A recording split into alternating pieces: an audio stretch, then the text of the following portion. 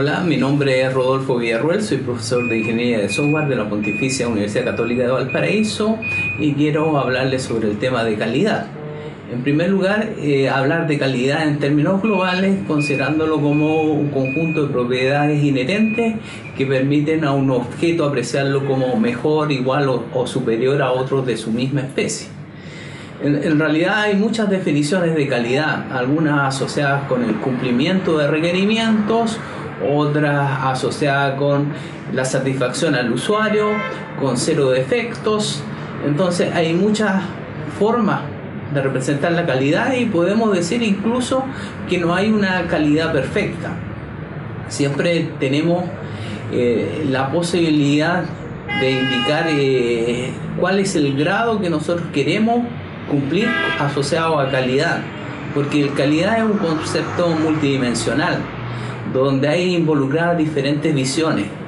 Unas visiones pueden ser de costo, de funcionamiento, de oportunidad. Y vemos de que también la calidad está referida a ciertas restricciones. De eso va a depender nuestro punto de vista. Restricciones presupuestarias o relacionadas con el cumplimiento de compromisos. Si nosotros visualizamos la calidad relacionada con el software, podríamos considerarla como de tres niveles.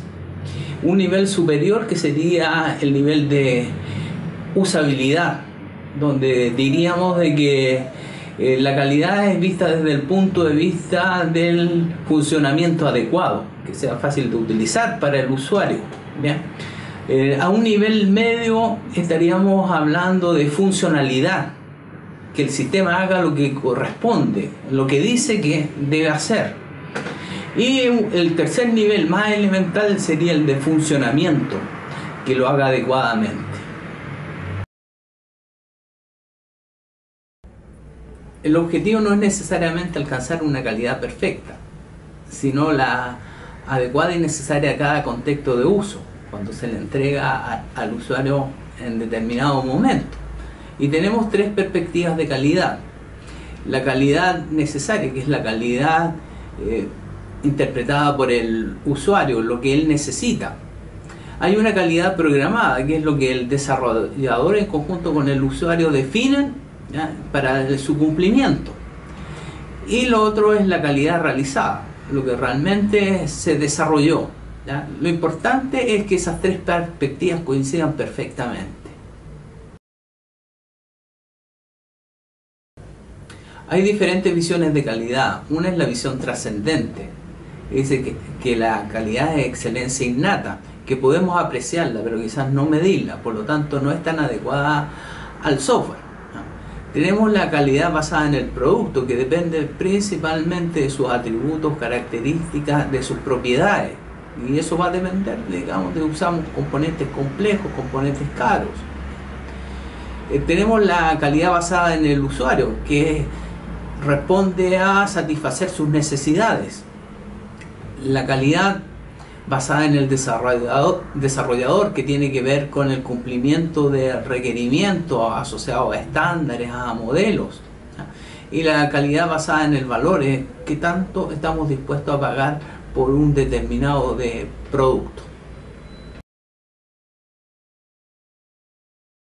Los elementos que influyen en la calidad son eh, los procesos y buenas prácticas, las herramientas, las personas y las medidas y métricas asociadas. Todo esto es importante considerarlo porque en el desarrollo de software tenemos diferentes procesos que es conveniente definirlos, institucionalizarlos incluso en la empresa. ¿ya?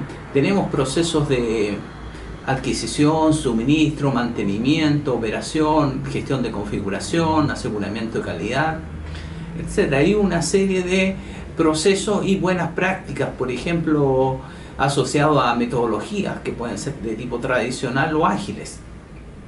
En cuanto a las herramientas, tenemos que tener ese apoyo que puede ser el soporte automático o semiautomatizado para implementar nuestra aplicación las personas son necesarias porque a veces son el error que uno tiene en realizar un proceso. A veces las personas son las que hacen que el, sistema funcione o falle. Y por último, las medidas y métricas son indicadores para eh, realizar una buena evaluación y una buena retroalimentación de lo que se ha realizado. Al hablar de calidad a nivel de una organización se manejan varios términos. Uno de ellos es el control de calidad, que tiende a asegurar la calidad del producto desarrollado. Es el producto final, por lo tanto no nos, no nos hemos preocupado del proceso. Así que muchas veces si algo está mal hay que reaccionar de manera reactiva. Por lo tanto, es conveniente realizar actividades de aseguramiento de calidad para asegurar la confianza de que se van a cumplir los requisitos de calidad. El, el aseguramiento de la calidad está asociado a la calidad del proceso, por lo tanto es preventivo y proactivo. Entonces lo ideal es mejorar los procesos y también vamos a asegurar después que cumple con los requisitos de calidad del producto. También está el concepto de gestión de calidad, que sería el conjunto de actividades de dirección y control de una organización que aseguran de que se cumplen los requisitos de calidad. Muchas veces eh, uno evalúa la calidad y se certifica, utiliza modelos de calidad, pero están asociados a sistemas de gestión de calidad y no a la calidad del producto. Y por último tenemos el concepto de calidad total o gestión de calidad total que permite que una organización tenga una filosofía o actitud que permita a los clientes ofrecer productos y servicios que satisfagan completamente sus requerimientos. Entonces, esta visión eh, considera la calidad como un conjunto de procesos que permiten eh, ser eh, gestionados usando el denominado ciclo de Deming, que es un ciclo de mejora continua, o llamado ciclo PDCA, que es planificar, hacer, verificar y actuar.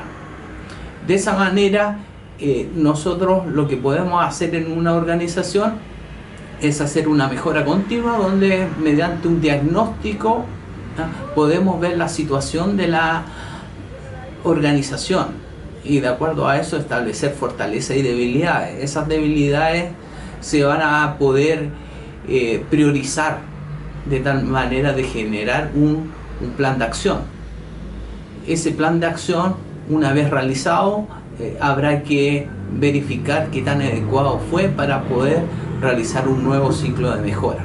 De esa manera las organizaciones van mejorando continuamente y lo cual es muy diferente al concepto de reingeniería que sería borrón y cuenta nueva. En casos drásticos eso es necesario hacerlo, pero eh, cuando uno hace reingeniería después es necesario realizar mejora continua. Hemos visualizado diferentes términos asociados a calidad porque vimos que calidad era un concepto multidimensional y tenía diferentes visiones. Lo importante es que nosotros tengamos esa visión de calidad presente en nuestros desarrollos y que podamos eh, entregar productos de calidad pero sabemos de que para entregar esos productos de calidad tenemos que preocuparnos del proceso. Y tenemos una serie de modelos, normas, que nos, buenas prácticas que nos permiten apoyar este proceso. La organización debería tener un sistema de gestión enfocado a la calidad, de manera de ir mejorando continuamente. Tener siempre esa ambición de calidad para poder entregar productos que sean acorde a las necesidades de los usuarios y con el cumplimiento de estándares internacionales.